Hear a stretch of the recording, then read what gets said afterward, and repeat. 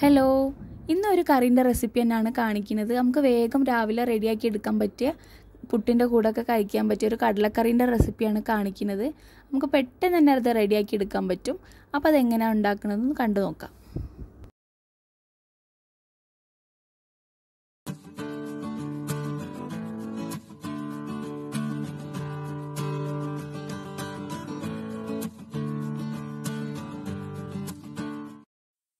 അപ്പോൾ ഇതാ കറി ഉണ്ടാക്കാൻ വേണ്ടിയിട്ട് ഞാനിവിടെ കടല എടുത്തിട്ടുണ്ട്. ഒരു ഒന്നര കപ്പ് കടലാണ് എടുത്തിട്ടുള്ളത്. അത് നമുക്ക് തലേ ദിവസം തന്നെ നമുക്ക് വെള്ളം ഒഴിച്ചിട്ടൊന്ന് ഒന്ന് സോക്ക് ചെയ്ത് വെക്കണം. അപ്പോൾ ഇതാ രാവിലെ അത് നോക്കിയാൽ ഒന്ന് നന്നായിട്ടൊന്ന് സോക്കായിട്ട് കിട്ടിയിട്ടുണ്ടാവും. ഞാൻ നന്നായിട്ടൊന്ന് കഴുകി വൃത്തിയാക്കി ഒരു കുക്കറിലേക്ക് ഇട്ട് കൊടുക്കുക ആദ്യം അതൊന്ന് വേവിച്ചെടുക്കണം. അപ്പോൾ നന്നായിട്ട് കഴുകിയിട്ടുണ്ട്. അതൊന്നൊരു കുക്കറിലേക്ക് ഇട്ട് കൊടുക്കുക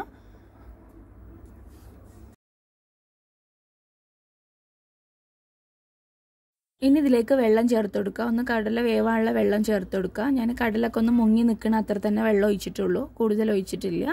ഇനി ഇത് പാകത്തിന് ഇതിലേക്ക് ഉപ്പ് ചേർത്ത് കൊടുക്കുക. പിന്നെ ഒരു കാൽ ടീസ്പൂണ് മഞ്ഞൾപ്പൊടിയും കൂടി ചേർക്കുന്നുണ്ട്. എന്നിട്ട് നന്നായിട്ട് ഇതൊന്ന് വേവിച്ചെടുക്കാം ഞാനിവിടെ ഒരു നാല് വിസിലടിന് വരെ വേവിച്ചെടുത്തിട്ടുണ്ട്. ഫസ്റ്റിൽ ഫസ്റ്റത്തെ വിസിൽ വരുന്നത് ഫുൾ ഫ്ലെയിമിൽ വെച്ച് കൊടുക്കുക. പിന്നെ അത് കഴിഞ്ഞിട്ട് ബാക്കി മൂന്നും ഒന്ന് മീഡിയത്തിലേക്ക് മാറ്റി കൊടുക്കുക. അങ്ങനെ നാല് വിസിലടിച്ച് കഴിഞ്ഞാൽ നല്ല കറക്റ്റ് പാകമായിട്ട് വെന്ത് കിട്ടിയിട്ടുണ്ടാവും. അപ്പോൾ കടല അവിടെ വേവാൻ വെച്ചിട്ടുണ്ട്. ഇനി അടുത്ത സ്റ്റെപ്പ് കുറച്ച് കാര്യങ്ങളൊന്ന് അരിഞ്ഞെടുക്കാനുണ്ട്. ഞാനിവിടെ ചെറിയൊരു ഉള്ളി എടുത്തിട്ടുണ്ട്. അത് ചെറുതാക്കി കട്ട് ചെയ്യുക. അതുപോലെ ഒരു അഞ്ചാറ് ചുവന്നുള്ളി എടുത്തിട്ടുണ്ട്. രണ്ട് മൂന്ന് പച്ചമുളക് ഒരു ചെറിയൊരു തക്കാളി രണ്ട് വറ്റൽമുളക് പിന്നെ കുറച്ച് കരുവേപ്പില അപ്പോൾ ഇതൊക്കെ ഒന്ന് റെഡിയാക്കി വെക്കുക ഉള്ളിയൊക്കെ അരിഞ്ഞിട്ട് റെഡിയാക്കി വെക്കുക ഇനി ഇതൊക്കെ ഒന്ന് വാട്ടിയെടുക്കണം. അപ്പോൾ ഞാനൊരു പാത്രം വെച്ചിട്ടുണ്ട്. അതിലേക്ക് ഒരു രണ്ട് ടീസ്പൂൺ വെളിച്ചെണ്ണ ഒഴിച്ചു കൊടുക്കുക. അതൊന്ന് ചൂടായി വരുമ്പോൾ അതിലേക്ക് കടുക് ചേർ ഒരു അര ടീസ്പൂൺ കടുക് ചേർത്ത് കൊടുക്കുക. അതുപോലെ ഒരു അര ടീസ്പൂണ് വലിയ ജീരകം പെരിഞ്ജീരകം ചേർത്ത് കൊടുക്കുക. അതൊന്ന് ചൂടായി വന്നാൽ ഒരു അതിലേക്ക് വറ്റൽമുളക് ചേർത്ത് കൊടുക്കുക. പിന്നെ കരുവേപ്പില അതുപോലെ നേരത്തെ കട്ട് ചെയ്ത് വെച്ച പച്ചമുളകും അതും ചേർത്ത് കൊടുത്ത് നന്നായിട്ടൊന്ന് വഴറ്റിയെടുക്കുക.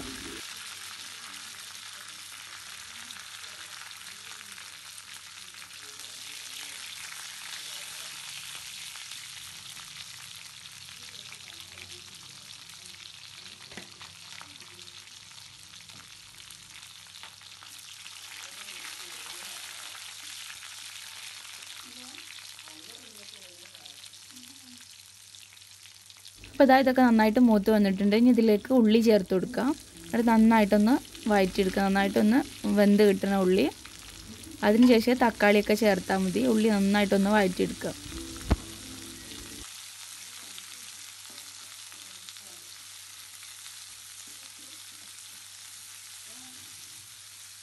അപ്പോൾ ഇതാ ഉള്ളിയൊക്കെ നന്നായിട്ട് വാടി കിട്ടിയിട്ടുണ്ട്. ഇതിലേക്ക് തക്കാളി ചേർത്ത് കൊടുക്കുക തക്കാളി ചേർത്ത് നന്നായിട്ടൊന്ന് വഴറ്റിയെടുക്കണം അതും നന്നായിട്ടൊന്ന് ഉടഞ്ഞു കിട്ടുന്നവരെ ഒന്ന് വാട്ടിയെടുക്കുക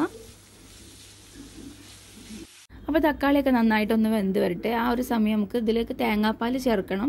തേങ്ങാപ്പാൽ ചേർത്തിട്ടുള്ള കടലക്കറിയാണ് നേരത്തെ പറയാൻ വിട്ടുപോയതാണ്.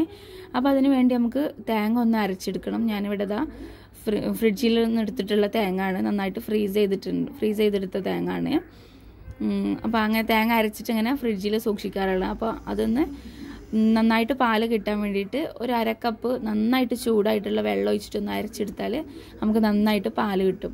നമുക്ക് ഈ കറിയിലേക്ക് ഒരു അരക്കപ്പ് തേങ്ങാപ്പാൽ മതി. അപ്പോൾ അതിന് പാകമായിട്ടുള്ള തേങ്ങ എടുത്തിട്ടുണ്ട്. എന്നിട്ട് നന്നായിട്ട് ഇതാ ഞാൻ ചൂടുവെള്ളം ഒഴിച്ചു കൊടുക്കുന്നുണ്ട്. നന്നായിട്ട് പാൽ കിട്ടും കേട്ടോ ചൂടുവെള്ളം ഒഴിച്ചു കൊടുത്താൽ എന്നിട്ടൊന്ന് അരി അരച്ചെടുക്കാം. എന്നിട്ട് തേങ്ങാപ്പാൽ റെഡിയാക്കി എടുക്കാം. അപ്പോൾ ഇതാ ഞാൻ ഇതിലേക്ക് ഉപ്പ് ചേർത്തിട്ടില്ല ഇനി നേരത്തെ? അപ്പം നോക്കിയിട്ട് ഉപ്പ് ചേർത്ത് കൊടുക്കുക. നേരത്തെ നമ്മൾ കടലയിൽ ഉപ്പ് ചേർത്തതാണ്. പിന്നെ അടുത്ത ഇതിലേക്ക് ചേർക്കേണ്ടത് മഞ്ഞൾപ്പൊടിയാണ്. ഒരു കാൽ ടീസ്പൂൺ മഞ്ഞൾപ്പൊടി ചേർത്ത് കൊടുക്കുക. പിന്നെ ചേർക്കേണ്ടത് മല്ലിപ്പൊടി. മല്ലിപ്പൊടി ഞാനൊരു രണ്ട് ടീസ്പൂൺ ചേർത്തിട്ടുണ്ട്. അടുത്ത ഇതിലേക്ക് ചേർക്കേണ്ടത് മുളക് പൊടിയാണ്. എരിവിനൊക്കെ അനുസരിച്ച് ഓരോരുത്തരും എരിവിനനുസരിച്ച് ചേർത്ത് കൊടുക്കുക. ഞാനിവിടെ ഒരു ഒന്നര ടീസ്പൂൺ മുളക് പൊടി ചേർത്ത് കൊടുത്തിട്ടുണ്ട്. ഇങ്ങനെ നന്നായിട്ട് എന്താണ് മസാലേന്റെ പച്ചമണം മാറുന്നവരേക്കൊന്ന് ഒന്ന് വഴറ്റിയെടുക്കുക ആ പിന്നെ ഇതിലേക്ക് ഒരു അര ടീസ്പൂണ് ഗരം മസാലയും കൂടി ചേർത്തിട്ടുണ്ട്. അപ്പോൾ നല്ലൊരു ഫ്ലേവർ ആയിരിക്കും ഗരം മസാല ചേർക്കുമ്പോൾ. അല്ലെങ്കിൽ പിന്നെ ഫസ്റ്റ് നമ്മൾ കടുക് പൊട്ടിക്കുന്ന സമയത്ത് ഒരു ചെറിയൊരു കഷ്ണ ഏലക്ക ഏലക്ക അതുപോലെ പട്ട ഗ്രാമ്പൊക്കെ ഒരു ചെറിയ ചെറിയ പീസ് ചേർത്ത് കൊടുക്കുകയാണെങ്കിൽ അതും നല്ല ടേസ്റ്റ് ആയിരിക്കും. ഇപ്പം ഞാനിവിടെ ഒരു അര ടീസ്പൂണ് ഗരം മസാല ചേർത്തിട്ട് നന്നായിട്ടൊന്ന് അതിന്റെ പച്ചമണൊക്കെ ഒന്ന് മാറണ വരെ ഒന്ന് വഴറ്റിയെടുക്കാം അപ്പോൾ അടുത്തത് ഇതാ കുക്കറൊക്കെ നാല് വിസിലായിട്ട് ഞാൻ ഓഫ് ചെയ്ത് വെച്ചിട്ടുണ്ട്. ഇനി അപ്പോൾ അതിന്റെ വെയിറ്റൊക്കെ ഒന്ന് പോയിട്ട് ഒന്ന് തുറന്ന് നോക്കുക കടലൊക്കെ വെന്തുക്കണോ ഒന്ന് ചെക്ക് ചെയ്ത് നോക്കണം. അപ്പോൾ ഞാനിതാ ഒന്ന് മിക്സ് ചെയ്തിട്ട് ഇതിൽ ആവശ്യത്തിന് വെള്ളമുണ്ട്. ഈ വെള്ളം തന്നെ നമുക്ക് അതിലേക്ക് ചേർത്താൽ മതി. അപ്പോൾ ഞാനിതാ കടലൊക്കെ വെന്തുക്കണോ എന്ന് ചെക്ക് ചെയ്ത് നോക്കിയിട്ടുണ്ട്. നന്നായിട്ട് അങ്ങോട്ട് വെന്തുടയണ്ട ഈ ഒരു പാകത്തിനാണ് നമുക്ക് കിട്ടേണ്ടത്. പിന്നെ ഞാൻ തേങ്ങാപ്പാൽ ഒരു അരക്കപ്പ് തേങ്ങാപ്പാൽ എടുത്തു വെച്ചിട്ടുണ്ട്. നല്ല അത്യാവശ്യം കട്ടിയുള്ള പാൽ തന്നെയാണ്. ഇനി നമുക്കിതിലേക്ക് കടല ചേർത്ത് കൊടുക്കണം. അപ്പോൾ ഇതൊക്കെ പച്ചമണക്കം ഒന്ന് മാറി നന്നായിട്ടൊന്ന് വെന്ത് കിട്ടിയിട്ടുണ്ട്. ഇനി ഇതിലേക്ക് ആ വെള്ളത്തോട് കൂടി കടല ചേർത്ത് കൊടുക്കുക എന്നിട്ട് നന്നായിട്ടൊന്ന് മിക്സ് ചെയ്തെടുക്കാം.